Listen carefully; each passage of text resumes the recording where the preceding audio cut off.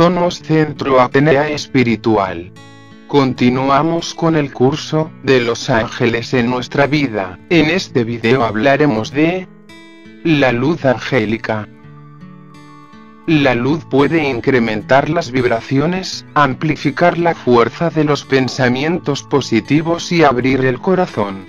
Es posible conectarse con ella, aprovechar su poder y crear el bien a nuestro alrededor. Sanayana Román. Crecimiento espiritual. Los ángeles son seres de luz, que poseen todas las cualidades psicológicas de la luz misma, y son una fuerza potente de transformación. En el momento en que nosotros pensamos en la luz podemos atraer la misma a nuestras vidas. Lo mismo sucede con los ángeles. Responde a nuestro pensamiento y podemos llamarlos con solo pensar en ellos. Cuando enviamos luz a alguien, le enviamos ángeles. Y cuando nos rodeamos de luz blanca, nos rodeamos de energía angélica. Al visualizarnos abrazados por la luz blanca para transformación y rosada para vibraciones de amor, iluminamos y elevamos las vibraciones que se dan a nuestro alrededor. Cuando en este curso hablo de luz, me refiero a la luz de la fuerza de amor más elevada del universo. La luz de lo divino, de Dios. Esta luz es la verdadera chispa de vida. Es lo que brilla en el alma de todos. Es la sustancia del yo superior, nuestra fuerza de vida. Es la luz del esclarecimiento, la luz que trae claridad a la vida.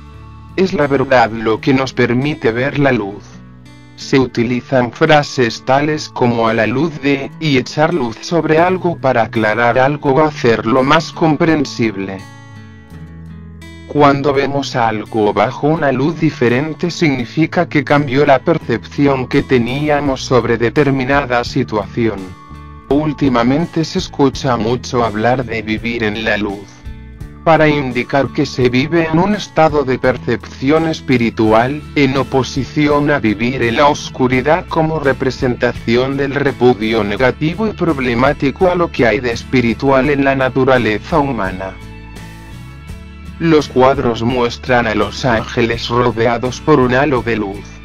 Los santos y las personas sagradas de numerosas religiones también aparecen como a los que las rodean. Es divertido empezar a jugar con ideas sobre la luz, explorar todas las ideas sobre la luz y descubrir cómo se utiliza la palabra y sus diversos significados.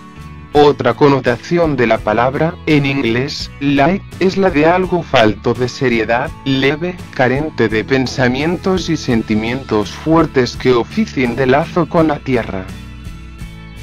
¿Por qué será que muchas personas temen la oscuridad tanto como a la luminosidad?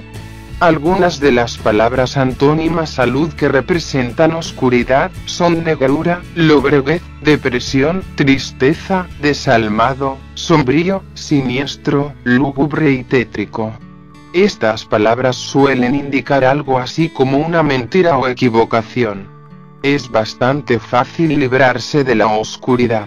Solo hace falta encender la luz. El truco consiste en que debemos mantener la luz encendida. Tenemos que incorporar la luz diurna a la mente y permanecer despiertos. Mediante una práctica diaria, si concentramos los pensamientos en la luz y en el amor, el clima en nuestra mente se mantendrá brillante y soleado. Cuando estamos deprimidos vamos a darnos un rápido baño de luz. Nos sentamos en tranquilidad, cerramos los ojos y nos concentramos en la luz dentro de la mente. Nos concentramos en la luz con los ojos cerrados por un momento y no los abrimos hasta que se haga de día en la mente. Ese instante de luz diurna será distinto para cada uno, pero será siempre una experiencia positiva y esclarecedora. Vamos a pedirles a los ángeles que se unan a la luz que estamos generando. Les pedimos que protejan nuestra luz y que nos permitan utilizarla de distintas formas. Una forma de usar la luz es para la sanación. Si sentimos dolor en alguna zona del cuerpo, concentremos el rayo de luz angélica en las células que rodean la zona de dolor o enfermedad. Imaginemos que la luz se transforma en una potente fuerza sanadora originada en la luz de los ángeles sanadores. Sentimos que la brillante luz dorada entra en las células e impregna el tejido. Sentimos la efervescencia de lo que significa incorporar el poder. Este método se puede utilizar para enviar el rayo de luz a otros que estén sufriendo. Para ello, vamos a visualizar un rayo láser de blanca luz sanadora que brilla en partículas doradas del polvo de Dios y que podemos dirigir hacia donde lo elijamos. Recuerda que la luz puede usarse para fortalecer los pensamientos positivos. Si nos sentimos deprimidos o carentes de amor, podemos utilizar esta luz angélica para hacernos saber que en el cielo somos amados verdaderamente, y vamos a pedirle a los entrenadores angélicos de felicidad que nos sonrían. Solemos olvidar que la ayuda afectuosa de la que carecemos en la tierra, bajo la forma de seres humanos, juguetes, entretenimientos, es abundante en el cielo. Resulta fácil olvidar esto dado que como seres humanos nos involucramos mucho con otras personas y con instituciones humanas, tales como nuestros lugares de trabajo. Cuanto más utilicemos la ayuda celestial, más felices seremos y más satisfechos nos sentiremos. Los ángeles siempre están dispuestos a alegrarnos y aplaudirnos para que lleguemos a ser lo mejor posible son también muy indulgentes si nos olvidamos de ellos. La clave está en pedir que la luz de amor de los ángeles brille, sobre, a través de y alrededor de uno mismo. Entonces, seamos creativos. La luz está para que juguemos con ella y solo podemos utilizarla para el fin más elevado, tanto el nuestro como el de todo lo que nos rodea. Por lo tanto, no nos equivoquemos al jugar con la luz angélica.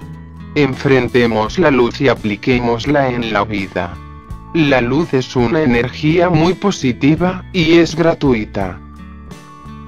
Hasta aquí, esta clase de la enseñanza de los ángeles en recuerdo de la maestra Alexis. Te invitamos a que te suscribas a nuestro canal de YouTube soy la maestra Estivia, un fuerte abrazo, bendiciones infinitas para todos, hasta pronto.